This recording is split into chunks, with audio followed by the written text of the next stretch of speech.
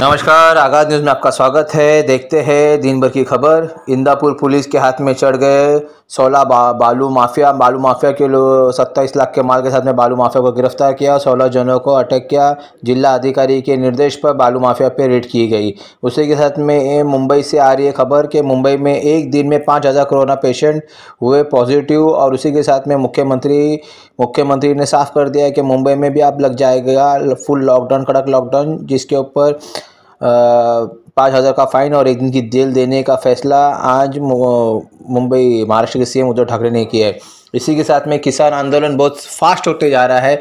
किसान आंदोलन के नेता जिन्होंने चेन्नई जाके वहाँ पर लोगों से अपील की कि जो सरकार किसानों का साथ नहीं थी उस सरकार को वोट देने का अधिकार किसी भी आम नागरिक को नहीं है।